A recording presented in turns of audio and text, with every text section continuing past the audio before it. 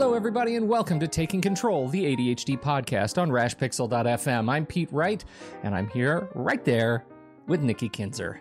Hi, Nikki. Hello, everyone. Welcome. You feeling good? You feeling strong? Your kung fu is strong? Yeah. Well, yeah, especially after the pre music we had before the recording started. That. Why not? I love that so much. I'm ready to dance. So much. We are. We have a fantastic show today. We're. I'm. I'm very excited about our conversation today because, uh, you know, it's in my space, uh, and, and I love it whenever we get to talk about other great podcasts. And we've got a new one coming that is is launching very soon. And the proprietors of said podcast establishment have joined us today to introduce it to our audience. But before we do that, head over to takecontroladhd.com to get to know us a little bit better. You can listen to the show right there on the website or subscribe to our mailing list right on the homepage and get an email each time a new episode goes live. You can connect with us on Twitter or Facebook at Take Control ADHD. And if you support the ADHD podcast, if you're a longtime listener and your life has been impacted positively by something that we have done here over the last six years, we sure hope you'll consider supporting us with just a few dollars a month on Patreon at patreon.com slash the ADHD podcast. Your support gets you into the private Facebook group where if you were there right now, you'd be able to see this and See us. Yes, you would be. you would. You'd be able to see the dancing, and you would hear Paul Stanley from Kiss uh, and 45 minutes of stage banter. Uh, that's what you get. No, That's what that's you not get. true. No, that's what you get. They like it or no, not. no, no, because No. now they're going to think, yeah, they're going to think they're going to have to listen to 45 minutes of that. They have to. That's actually the gateway. They have to listen to all 40 in order to. Never mind. All Oh, right. No, Thank that is you not to- true. He's making Thank you stuff to up. everyone who has already uh, supported us over there, patreon.com slash the ADHD podcast. And, and thanks to all of you who are thinking about uh, helping us out over there. All right, here we go. James Ochoa is back, and this time he's brought family. You'll hopefully remember James from our conversation with him last year, author of Focused Forward Navigating the Storms of Adult ADHD. He's founder of and director of the Life Empowerment Center in Austin, Texas. James joins us with his son Jules, recent grad of the fine Clark University and researcher in cognitive neuroscience. Oh, and podcaster. The Ochoas are here with us today to talk about their new podcast, The Complex a narrative fiction show that aims to unravel the complexities of ADHD through a cadre of eclectic tenants of an apartment. James and Jules Ochoa, welcome to the ADHD podcast. Thank you. Thanks, Pete. I really, really appreciate the introduction, and I love the banter. Uh, it's so much fun on our ADHD neurology. It's just uh, I'm, I'm having more and more fun doing this, and uh, uh, I, I can't thank you both enough for everything you do and getting the word out around difficulties around ADHD and the number of years. I mean, really, six years is just such an incredible space to really be uh, helping those with this diagnosis, and and our project. Um, uh, the complex has just been uh, such a fun, shiny object. It's only been 15 months since inception. Um, and I'm going to let my son Jules, sitting here next to me, uh, tell us a little bit about the complex. Uh, I wound up certainly being the executive producer and part of the cast, of course. Um, and you know what the executive producer means? That's I got I got to fund the process, uh, to build it. That's what the executive producer does. Congratulations. That's about it. Uh, that's about it. Um, but I'll let Jules take it from here. Tell us a little bit about the complex, and then we'll talk about what we want to do. well, again, thanks for having us on. Uh, this is really has been an incredibly fun project to work on. It started from just kind of a random idea on a road trip that I was taking with my dad to come back down from Clark University from Massachusetts to Texas. Um, and, uh, you know, we were talking about a podcast that I had done in college on schizophrenia, and he was came up with this random idea that, hey, let's do a podcast on my book. I was like, huh, okay, yeah, sure, that'd be that'd be interesting. I can do that. That's a- that sounds I've like a done a great dad idea. I was like, I've never done. Okay, that was just a school project, but sure. Um, and you know, I I I re- I kind of like downplay it, but like I do really have a passion for podcasting, and it is something that I've found a lot of fun in. Um, and so you know, I worked with his writing coach and editor, and uh, we wrote six episodes of a you know of a podcast that outlines the life of ADHD and does it in a very entertaining and kind of engaging way because you're just you're just hearing the this almost theater esque podcast uh, played out in front of you. And then after that, uh, I'll be interviewing James uh, about some of the most ADHD moments kind of in that episode and how to navigate them successfully and how to kind of, uh, you know, try and prevent that from getting into these tailspins in the future. Yep. Um, so how it's kind of structured is uh, the complex episode itself will come out in one week, and then the week after that, uh, a section called Afterthoughts will come out where I interview James, and then it alternates like that every week. Oh, fantastic. So you don't actually have to wait two weeks to listen to the next show because then you can listen to you guys talk about it. Yeah, Yeah, and I think it's going to be. It's such a. I was really looking for a um, a practical, fun way to get the concepts in my book out, um, and in a way that began to normalize the distress and ways to have some fun with it, but also really ways to to get information out there. Right, this is an issue around emotional and mental stress on ADD that is such a conundrum. It's been my biggest clinical uh, piece to manage and deal with. Um, I'm also happy to say that actually just this morning I started my training consultation groups professionally teaching other therapists about what I know here in Austin, Texas. So I had a group of seven therapists that was just congratulations. uh, Fantastic. it was well you talk about fun and shiny stuff. I Mhm. really I really want to change the world, particularly with therapists as well, on how this is seen and how it's treated. That's great. Let's get started and, and give people a little taste, just a little taste. let's do it. Uh, we have two clips we want to play on the show today, and that's uh, wh- you want to set up the first one for us, Jules? the first clip kind of just gives you a walkthrough of the complex. You hear two of the characters. One of them uh, is myself, and the other is a character named Amanda, uh, who is probably the most classic form of ADHD that we have in the complex. Um, she is a college student, uh, just you know, kind of trying to figure out what she wants to do. Everything from marine biology to finance uh, is kind of her interests. Um, but she can't really decide on one. And she's living at the complex. And, um, you know, we get to see kind of some of her escapades as she tries to deal with the other ADHD tenants at the complex. I think it'll be very apparent once we get this clip rolling. It's a lot Yeah. of fun. Oh, yeah. I think so too. right, here, we, here we go. Tell me, how can I help you today? Well, you know, I don't really think I need therapy per se, but I thought it'd be good to just talk to somebody because a ton of stress has been building up in my life recently. Okay, sounds like a good place to start. Well, yeah, I mean, the people in my apartment complex are driving me insane, for one. What, what are these your neighbors? Well, sort of. I mean, I live there, but I also own the building and manage it. It's called the Complex, and it's not just a regular apartment building. It's kind of a lifelong dream of mine, actually. It's a green built, co housing, sustainable development. Everyone has their own space, but we also share common areas, almost like a dorm. There's ride sharing, there's a food garden, and people take turns harvesting and watering the plants, or th- at least theoretically they do. And I have great tenants, different ages, different backgrounds, all really interesting people, but times like this morning just make me want to walk away and never come back.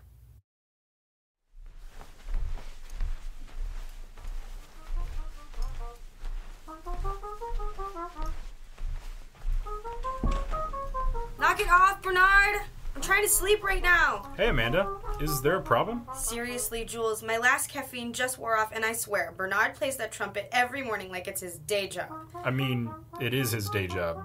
You can't be a musician if you don't practice. Can he not do it so early? Well, it's 11 a.m., but sure, I'll talk to him. I don't know why I always leave everything to the last minute. I had a geography project I had to finish last night, and I couldn't get it started until like midnight. Then I realized I had to go out and get a bunch of sticky notes because I had run out. I always do this. Don't be so hard on yourself. I'm sure you'll do great on that project. Cute pajamas, by the way. Is that the fish from Finding Dory? No, they're queen angelfish pajamas. Duh. Uh, Are they fish from Finding Dory?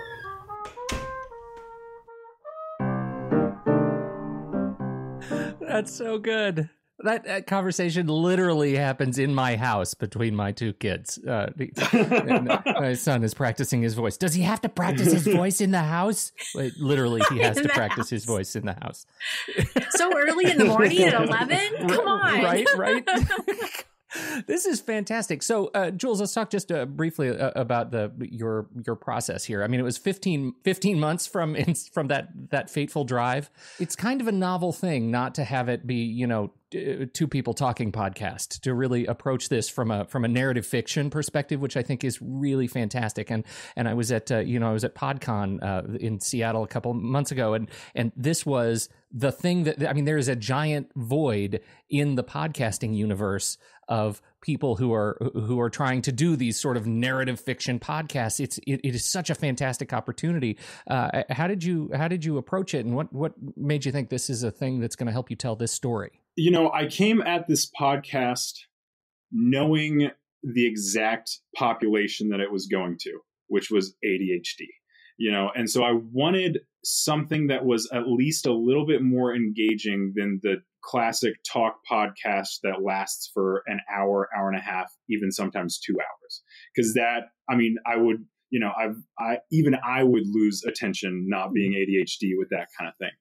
And so i wanted some way to kind of illustrate it um, and and make it more engaging than just that talk podcast. And when i was uh, brainstorming a little bit with uh, the writing direct or the writing coach and editor of my dad, Robin Chotzinoff.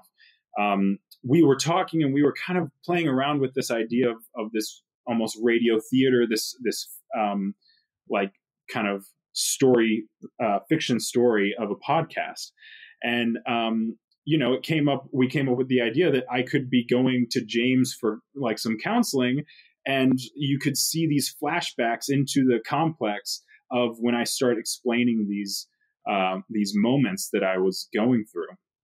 And you know, I think it just really clicked because it made it a lot more relatable to the listeners, so that they can actually see these characters and they can relate to these characters and they can like see what they're going through and see what they themselves are going through and then kind of pull from that and, um, you know, I think the afterthoughts especially will be useful um, because we'll be talking about these specific characters and what they were going through, and people can relate that to themselves, uh, even if they're not ADHD, even if they're just around ADHD mm-hmm. or even uh, treat it professionally.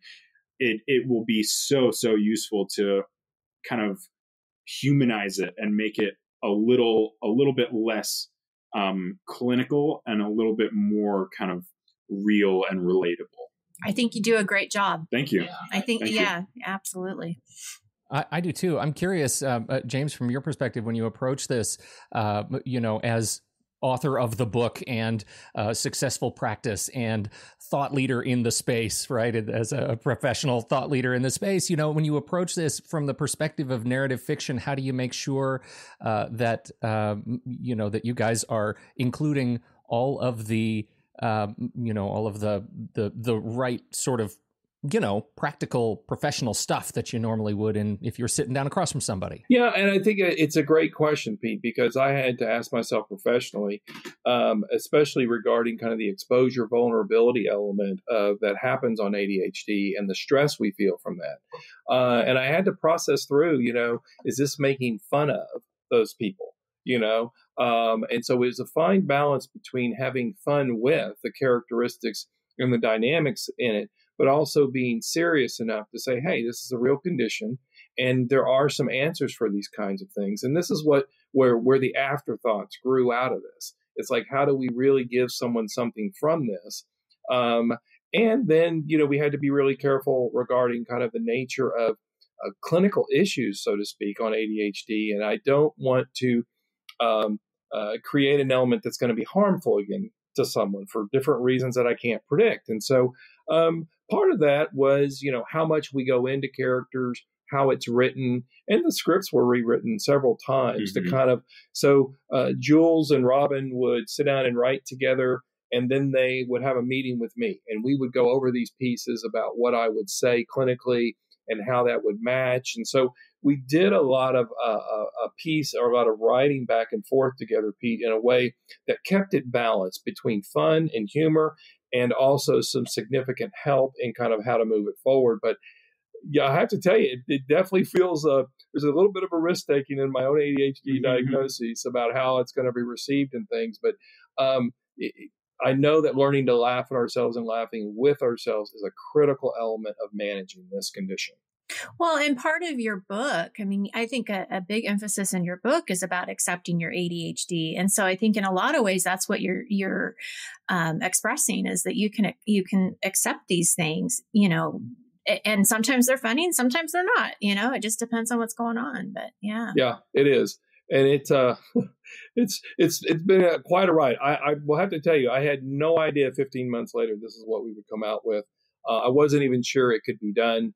Um, and early on, I I thought I was a little too far out on the edge in what we were doing, but uh, Robin and Jules both convinced me, no, we want to keep driving with this. This yeah. is something here. What what is what does that mean? Too far out on the edge? What were you uh, uh what were you concerned about uh, more specifically? Curious about that. You know, clinically, I, I I really in my book there's a fine edge between the science, say, behind this condition, okay, and the fact that this is a real issue and that uh, I don't want to be branded. and I don't want to be seen as someone who is a shiny object around this and just trying to uh, get exposure and image. I want to really produce something that's real. And that's a very fine balance because there is so much information, potentially misinformation in the field about this condition that really throws people off center and awry. And I absolutely did not want that to be what was going to be in this podcast. It had to be playful but serious enough so to me, that was an edge of a risk to kind of say, I don't want to produce something that's going to be a problem or that's going to be an issue. I want to produce something that's going to be a resource. Yeah. Uh, does that make sense, Pete? Yeah, yeah, absolutely. I and I, I totally get that that that sort of fear of the fear of being fluff. You know, yeah, I, yeah, I totally yeah, yeah, yeah, yeah. Or being just it's it's a pie in the sky. Nobody can reach it, and it's really what I tried and Focused Forward that the, the, the strategies are very pragmatic uh, and very real. But I'm also talking about things that are pretty edgy regarding using the imagination of your mind mm-hmm. to help calm your sense of self to build this internal resource of strength. And but that has been the most effective way after almost 30 years in the field to say this is how you teach people with ADHD to use internal resources not just develop strategies, not just go after medication, not just understand what it is. You got to live with this every day in and out. And I certainly do personally myself in the idea of storms and managing them. And I think this podcast is important too because it it doesn't just outline the life of the ADHDer. Mm-hmm. It outlines the life of people around the ADHDer as well. And mm-hmm. that is as important, if not more important in in uh, creating this dynamic that James is talking about. Because if the person with ADHD doesn't have the support systems around them that allow them to to build these internal worlds and and create all these strategies and and really move forward with their ADHD, then it's it's going to be nearly impossible for them to actually do that. Um, and the people around them, you know, need to understand and, and know what they're going through. And I think this podcast is a very good way to illustrate that uh, in, you know, uh, kind of mass consumer. And, uh, consumer way. and I have to tell you, okay, uh, there's a bit of authenticity here too. Okay, so Jules does not have a diagnosis of ADHD. he has lived with me, who does, and his and older brother, brother, who yeah. does. My wife does not, and so there's some authenticity when Jules says, "I've lived around it," yeah. and uh, he wanted to make sure. I make really sure have. That was in this space. We did this podcast. It's not just the people. So there's a little authenticity. Well, and actually, Jules, I'm glad you bring that up because I was telling my husband about this interview and how um, I was looking forward to it and I was excited to talk to you guys about this. And he asked me, he's like, "Well, what what are what are they talking about?" And I told him a little bit, you know, brief explanation of the complex.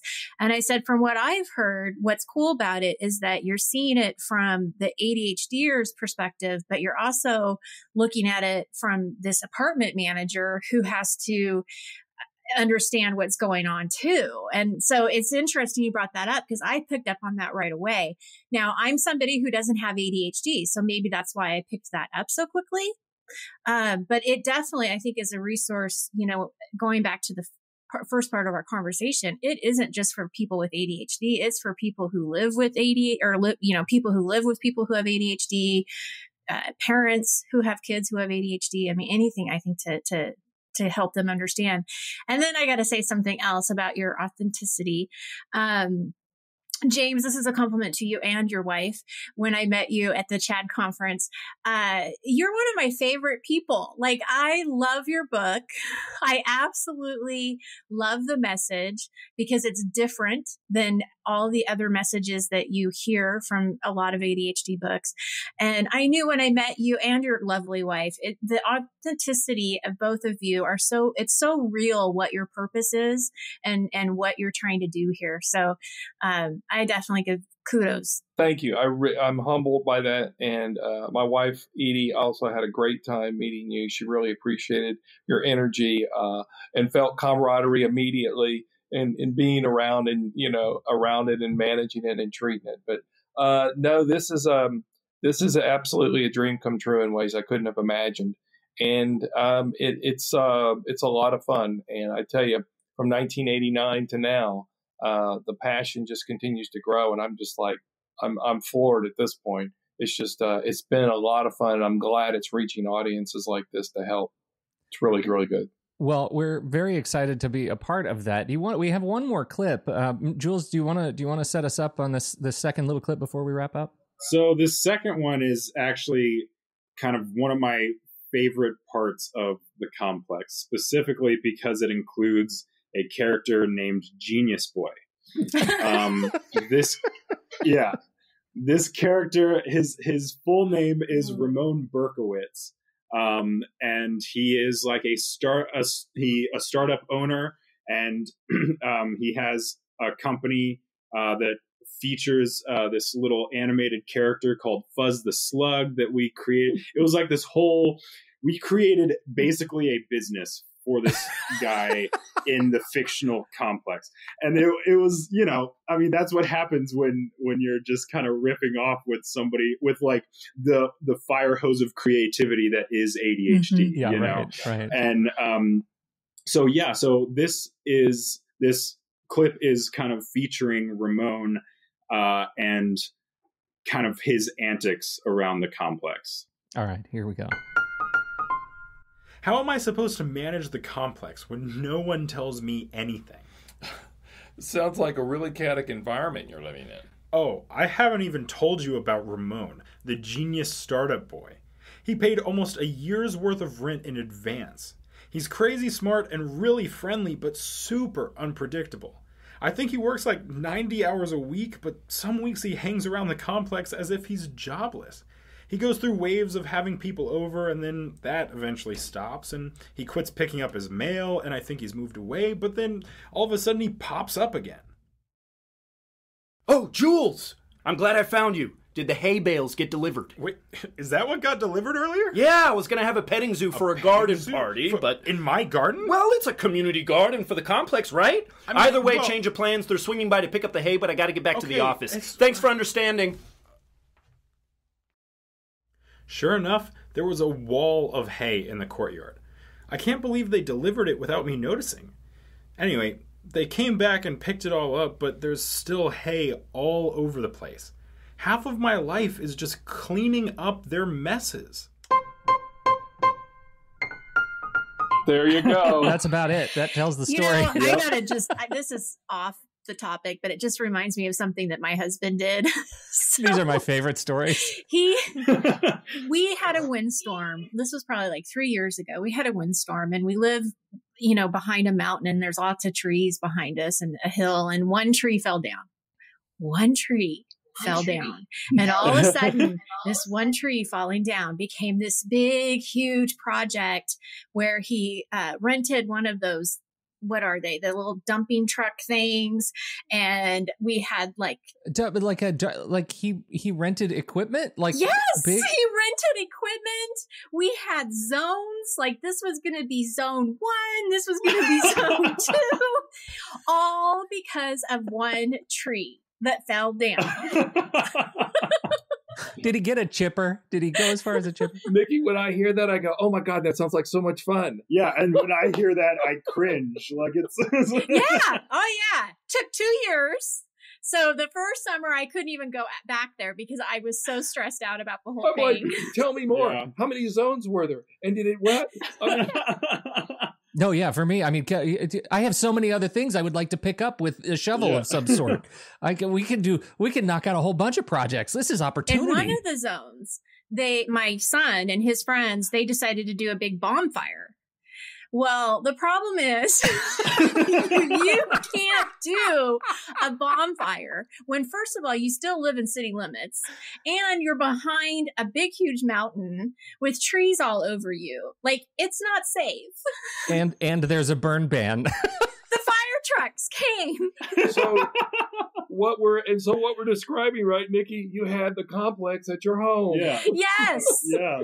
James, I think I have it at my home a lot.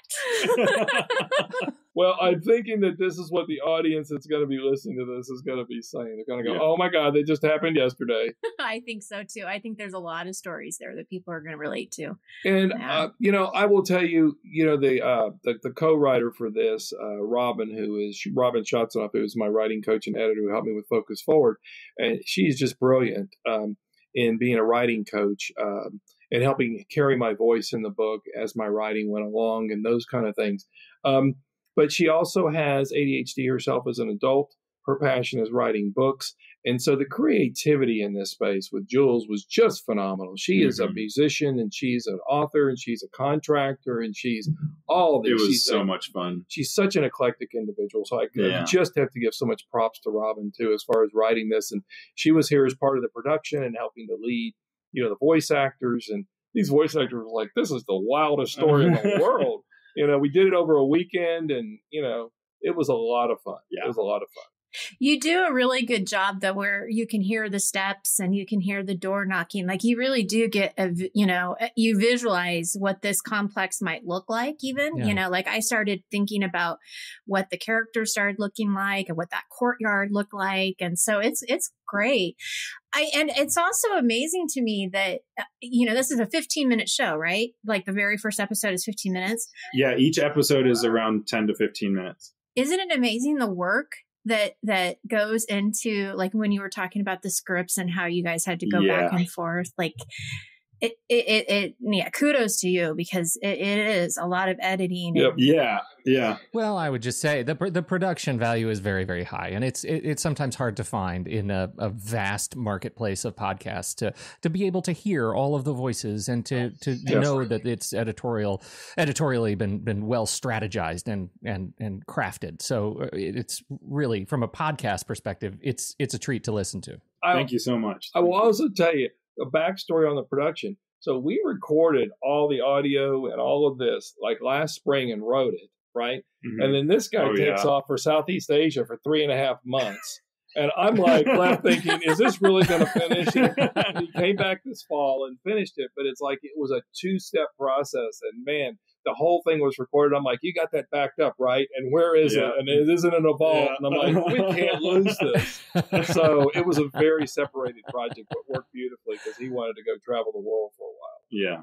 It's Oh, great it's it's really great. Uh, do you want to tell us a little bit? Uh, you know, we've I, I will say that you have agreed so kindly to to let our uh, our preview listeners hear the whole episode at the end of this podcast. So not in the live stream, but as soon as you know it, it'll go live to our Patreon listeners, and you'll be able to hear the whole episode early. But tell us a little bit about your launch plan. Uh, when can people hear it? Where can they find it? Yeah, we're launching launching it on um, the 12th, Monday. um, which is um, Monday. I think it's this coming Monday. yeah, this yes, this coming Monday. It's in three Um, days. Yep.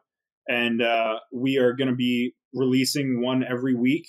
Um, but we've got six episodes of the complex itself, and then we're going to be releasing an afterthoughts um, after each after each episode. And so we'll have a release of the of the complex itself, and then the next week it'll be the afterthoughts, and then the complex, the afterthoughts, and it's gonna um and so certainly you can get to the links at jamesochoa.com we'll get you a link for sign up uh to be And able to get the episodes yeah, you can find the podcast And you already have a trailer in there, right? I mean, you already. I noticed you already have a trailer in the feed. Uh, is it in iTunes yet, or is it just over at Podbean? It is. Yeah, so it's in iTunes, Podbean, Google Play, uh, Stitcher. It's in all the major kind of directories you can go to find podcasts. Um, it's not in Spotify. Uh, it'll be in Spotify once kind of uh, it's halfway through the the session because you need like five episodes to get onto Spotify. So But- yeah, it's pretty much everywhere else though. It's fairly easy to find. Just fantastic. We'll put links everywhere, uh, and uh, uh, you know, I may even put it, for people to earn it. I'm going to put all 45 minutes of Paul Stanley uh, from Kiss before, and then they'll be able to listen. In the No, you Well, are we'll not. Work that out. we, we have to stay off the paint process. No. Not good. we, we clearly have some issues, me and Nikki, to work out, but we'll get there. I'm confident. We've been working together a Yeah. long time. This has been so great, you guys. James and Jules Ochoa, we sure appreciate all of the work you do. And and Jules, great to meet you, man. Thank you for for joining uh, the show here. Yeah, you as well. Thank Absolutely. you so much for and, um, you know, if you get a chance, the other end of this is that this is going to be done in 12 weeks. If we get feedback from your listeners and other kind of things, uh, I'd love to come back on in two or three months and kind of see how things have rolled out. I'd be happy to if that's something y'all ever want to do. Just let us know. No, we, we love having you. So yeah, absolutely. So does that mean that there might be like a season two? you know, uh, Man. you never know. I you get I- someone, you get someone shiny enough out there uh, Okay. who's got some philanthropic money would be helpful uh, on producing this. Uh, I'd work a little overtime last year, but it's been so much fun. But I'd love that. Yeah, we talked about season twos and things like that that are so much fun to add on. Who knows, Nikki? Who Yeah, knows in, our, who knows in my ADD mind? potentially, yeah. That's all we've got for the main show. Thank you, everybody, for downloading and listening to this particular show. We sure appreciate your time and attention. On behalf of James and Jules Ochoa and Nikki Kinzer, I'm Pete Wright, uh, and we'll catch you next time right here on Taking Control, the ADHD podcast. Uh, and now, here's the whole episode one of The Complex.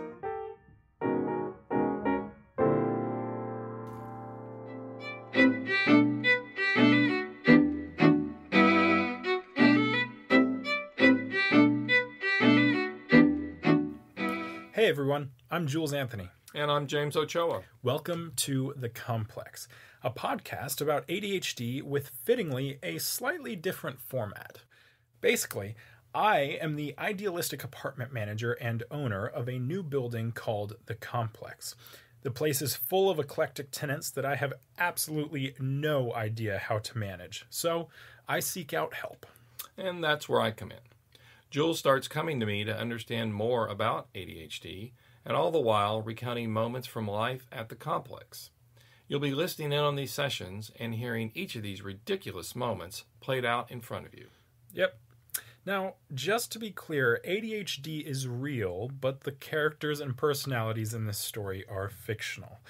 Any resemblance they have to someone in real life is pure coincidence. So, if you will, sit back, relax, and I hope you enjoy life at the complex.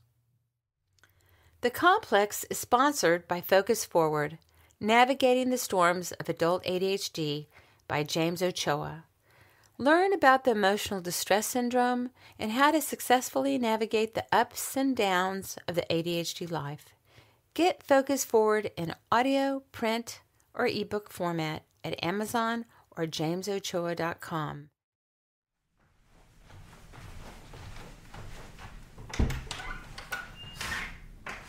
Oh, hey, you must be Jules Anthony. Welcome to the Life Empowerment Center. It's great to meet you. Hey, sorry, I'm so late. I just, time always seems to get away from me. Oh, don't worry, it's nothing new to me. I, we know a lot about being late in this office. I've been doing this 28 years, and I joke that I usually take my 10 minute break at the beginning of the hour rather than the end.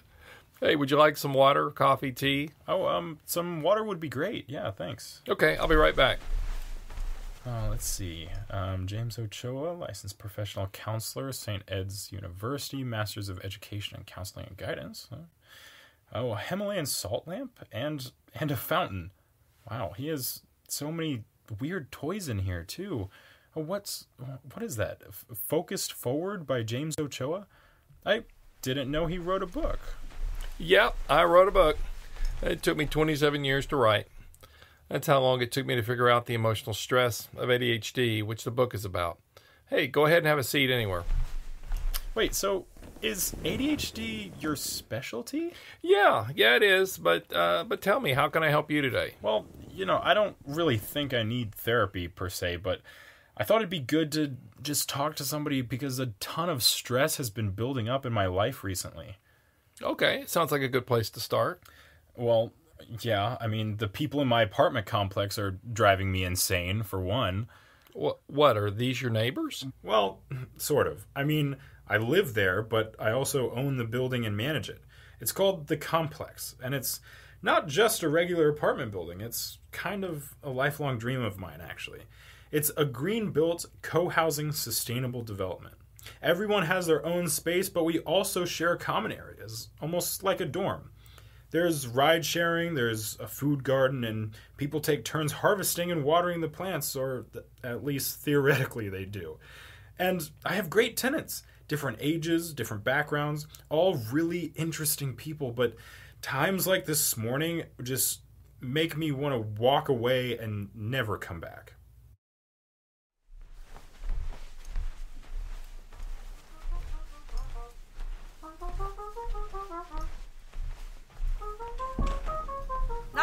Bernard! I'm trying to sleep right now. Hey, Amanda, is there a problem? Seriously, Jules, my last caffeine just wore off, and I swear, Bernard plays that trumpet every morning like it's his day job. I mean, it is his day job. You can't be a musician if you don't practice. Can he not do it so early? Well, it's 11 a.m., but sure, I'll talk to him. I don't know why I always leave everything to the last minute. I had a geography project I had to finish last night, and I couldn't get it started until like midnight. Then I realized I had to go out and get a bunch of sticky notes because I had run out. I always do this. Don't be so hard on yourself. I'm sure you'll do great on that project. Cute pajamas, by the way. Is that the fish from Finding Dory? No, they're queen angelfish pajamas. Duh. Uh, aren't they fish from Finding Dory?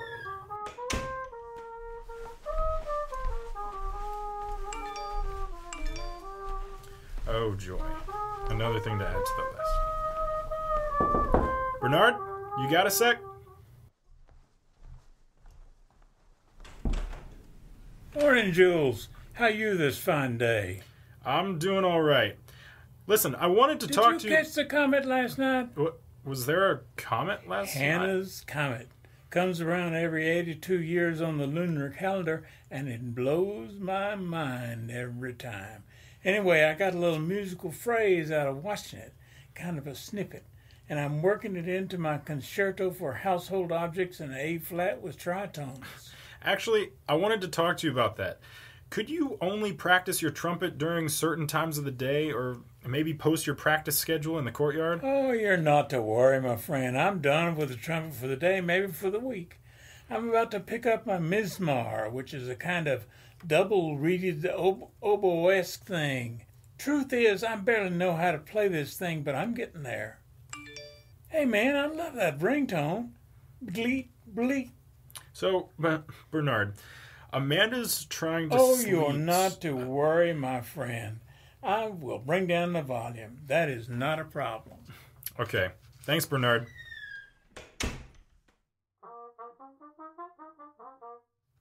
Well, I tried. Jules! Jules, come on, open up!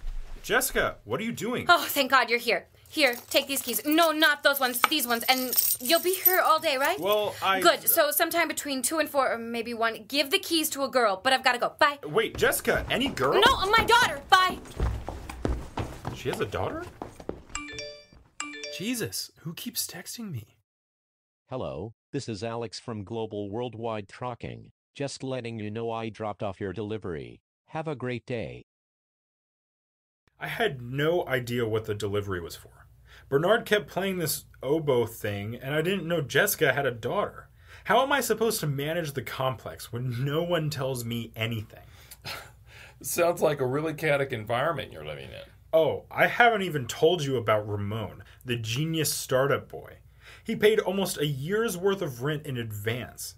He's crazy smart and really friendly, but super unpredictable.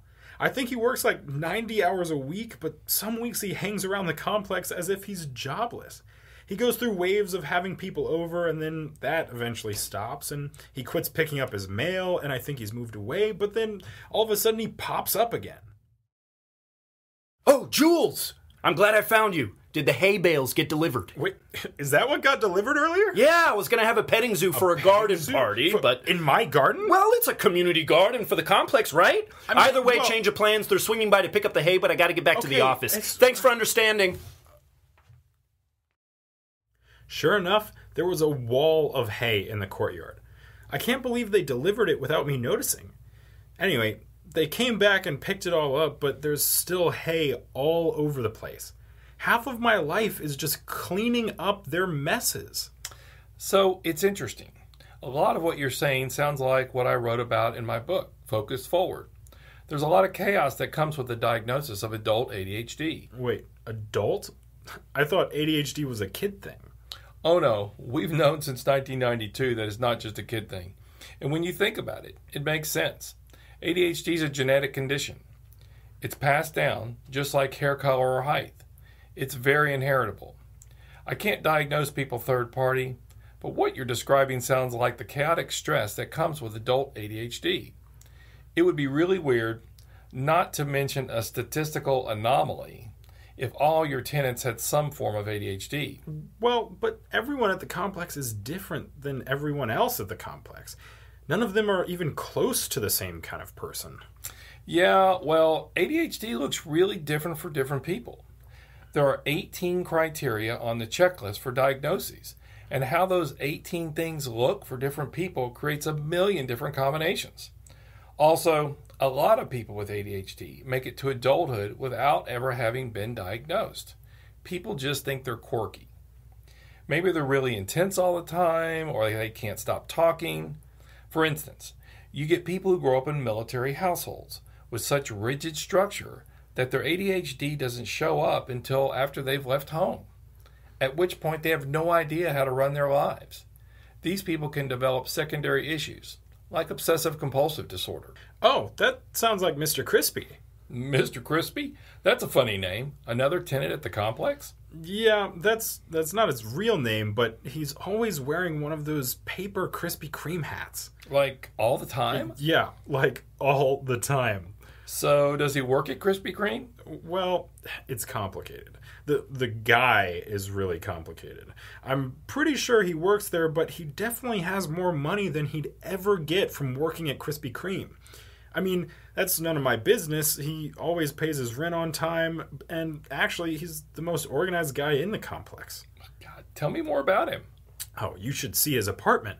There's sticky notes everywhere. No art or anything on the walls. Just a bunch of random to do lists.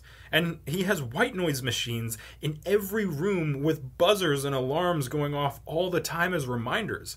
Plus, everything is at right angles to everything else. It almost looks like a military barracks. And actually, he might be an army brat. He is from Killeen. Well, it's really interesting. You're describing so many quirks that come with ADHD. If all your tenants of the complex really have it, you would absolutely be stressed out. The good thing is, I can help you with that. really? I can't even imagine this whole thing being able to resolve itself. Okay, first of all, if it's ADHD, it never resolves itself. But you can learn how to handle it. The first thing is to calm yourself and not personalize what's going on with them. But how the hell am I supposed to do that? They're people, so I personalize them. Also, I like every single one of them, or I wouldn't have rented them apartments. Yeah, I get it. It's hard to take a step back, but it's not impossible. To begin with, I can help you understand what's going on.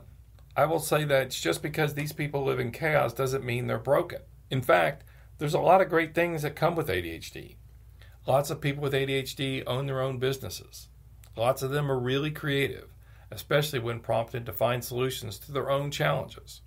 They like stimulation, anything that's new and interesting. You might have attracted those kind of people to the complex because there's a lot to do there and it's on the cutting edge. People with ADHD love cutting edge stuff. Yeah, that sounds about right. Do you have any time next week to talk? Because believe me, I have more stories.